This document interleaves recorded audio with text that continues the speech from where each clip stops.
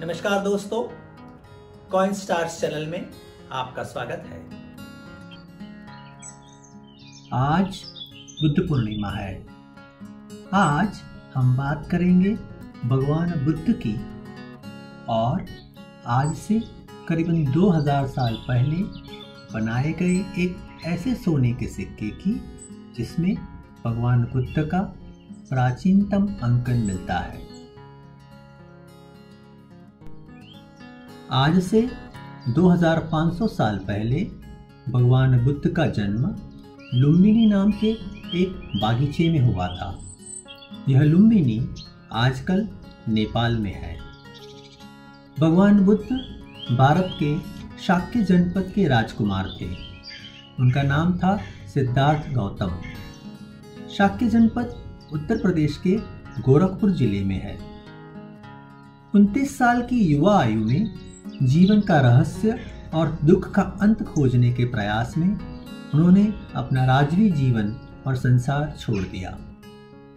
छह साल की कठोर तपस्या के बाद पीपल वृक्ष की छांव में उन्हें बुद्धत्व प्राप्त हुआ। तब से वह बुद्ध के नाम से प्रख्यात हुए। बुद्ध का अर्थ होता है ज्ञान संपन्न व्यक्ति जिसने जीवन का अंतिम सत्य प्राप्त कर लिया है। यह बोधि ज्ञान प्राप्त करने के बाद भगवान बुद्ध ने उस ज्ञान को लोगों में बांटा और उन्हें जीवन प्रबुद्ध करने का मार्ग बताया। यही ज्ञान आगे चलकर बौद्ध धर्म बना और सारे विश्व में फैला। भगवान बुद्ध ने उपदेश दिया कि जीवन में दुख है, किंतु उसका निवारण भी है। उन्होंने अष्टांग मार्ग बताया, जिसे हम बौद्ध धर्म से जानते हैं।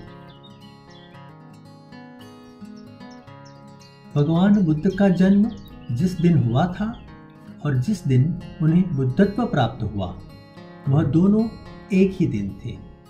वह दिन था वैशाख माह की पूर्णिमा। इस दिन को बुद्ध पूर्णिमा के नाम से जाना जाता है।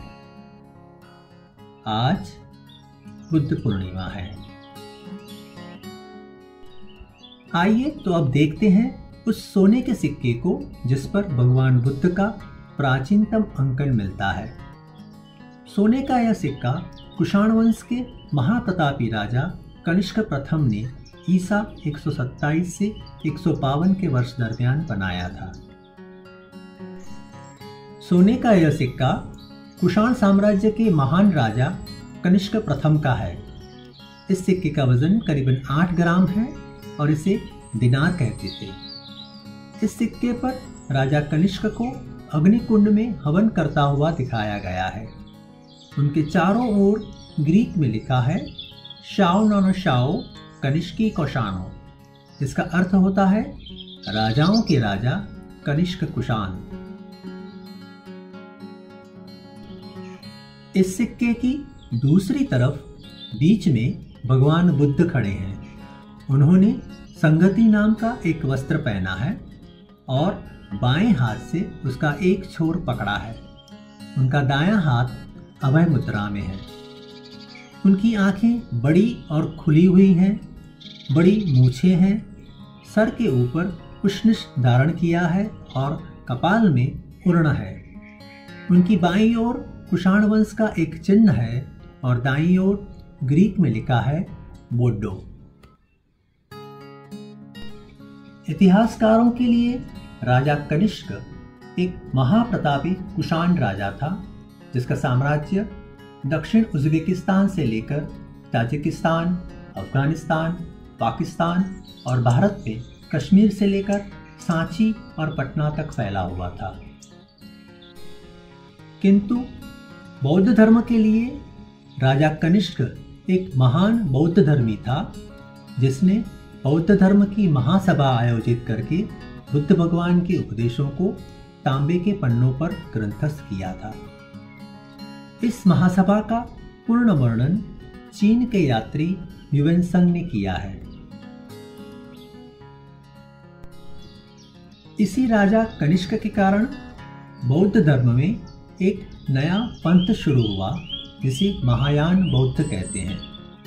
महायान का अर्थ होता है एक विशाल वाहन जिसमें अधिकतम लोग यात्रा करके निर्वाण पा सकते हैं। सोने का यह सिक्का इसी महासभा के आयोजन के वक्त बनाया गया था। दूसरी और सबसे बड़ी बात यह है कि बुद्ध के निर्वाण के बाद करीबन 400 सालों तक भगवान बुद्ध का अंकन उनके मानवीय स्वरूप में ना होकर सांकेतिक स्वरूप में होता था। यह सांकेतिक स्वरूप थे वृक्ष, हिरण, स्तूप और हाथी।